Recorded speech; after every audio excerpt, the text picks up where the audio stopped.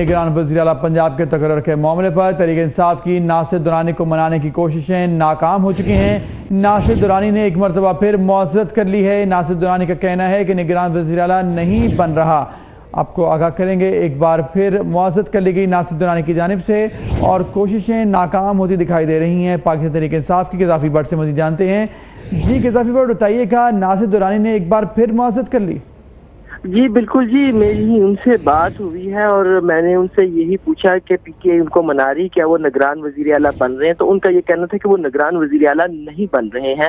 P T A یہ کوشش کر رہی ہے دو دن سے کہ ناصر دورانی کو کسی طریقے سے جو ہے وہ راضی کیا جا سکے اور گزشتہ رات بھی جو ہے انہیں منانے کی خاصی کوشش کی گئی اور ان کے قریبی دوست کو بھی جو ہے اس معاملے میں ڈالا گیا۔ لیکن ابھی تک جو ہے ناصر دورانی راضی نہیں ہوئے ہیں اور جو میری آخری دس منٹ پہلے جو ان سے بات ہوئی، ان کا یہ یہی کہنا تھا کہ وہ نگران وزیر اعلیٰ نہیں بن رہے ہیں، کیونکہ حکومت کی جانب سے بھی ناصر دورانی کے نام کے اوپر رضامندی کا اظہار کیا گیا تھا، اس لیے کوشش کی جا رہی تھی کہ وہ کسی طریقے سے رضامند ہو جائے، لیکن ابھی تک جو ہے وہ رضامند نہیں ہوئے اور انہوں نے نہ ہی جو ہے وہ تحریک انصاف کو کی ہے۔